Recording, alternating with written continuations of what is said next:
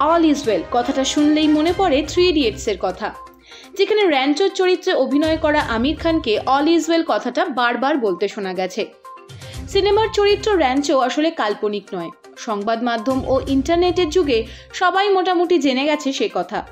বাস্তবের র্যাঞ্চো অর্থাৎ সোনাম ওয়াংচুকের জীবনকেই পর্দায় ফুটিয়ে তোলা হয়েছিল থ্রি ইডিয়েটস সিনেমায়। কিন্তু হঠাৎই র্যাঞ্চোর প্রসঙ্গ কেন এলো?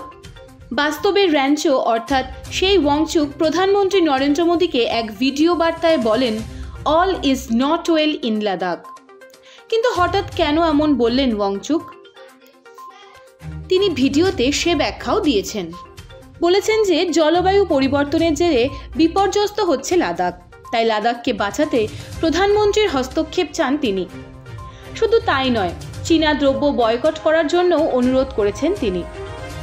ওয়াংচুক আরও অভিযোগ করেছেন, লাদাখের পঁচানব্বই শতাংশ বাসিন্দাই জনজাতি গোষ্ঠীভুক্ত। কিন্তু তা সত্ত্বেও এই অঞ্চলকে ষষ্ঠ তফসিলের অন্তর্ভুক্ত করা হয়নি। তিনি জানিয়েছেন, এই ব্যাপারে কেন্দ্র সরকার কোনো ব্যবস্থা নেয়নি। শুধু ভিডিও নয়, তিনি প্রধানমন্ত্রীকে যে চিঠি লিখেছেন, সে কথাও উল্লেখ করেছেন তার ভিডিওতে।